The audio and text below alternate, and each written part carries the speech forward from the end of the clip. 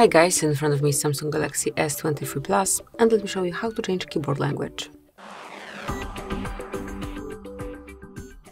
First of all, you have to open new message or any other area where you can input some text. Then click on a new one and as you can see this is our current keyboard so it's English US.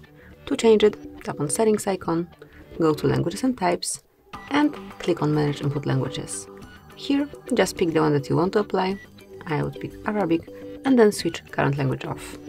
Now let's go back, let's switch it off and if you'll open, mm, okay so it's still not applied, just give it a couple of seconds uh, to load it, to apply the change.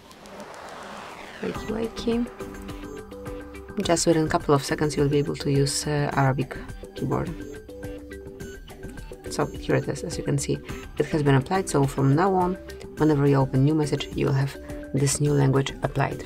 So this is it, this is how you can change keyboard language. Thank you for watching, please subscribe our channel and leave the thumbs up.